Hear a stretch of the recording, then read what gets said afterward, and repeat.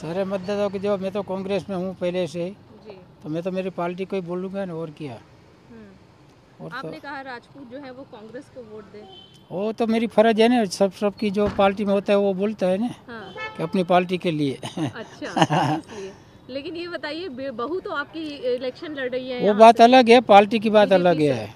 वो बात अलग है। रहेंगे ना। हाँ। कोई तो जो पार्टी है पार्टी के साथ ही रहना चाहिए ना बरसों से हम तो- पार्टी में। बे, बेटी कह रही है नाना जी की बेटी के साथ भी तो रहना चाहिए। तो ये बेटी का प्यार है।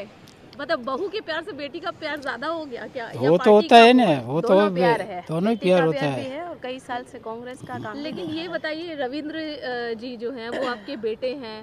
कहीं ना कहीं उनको दुख नहीं हो रहा कि पिताजी बहू का साथ नहीं नहीं वो समझता है सब कुछ समझता है उनको मालूम है।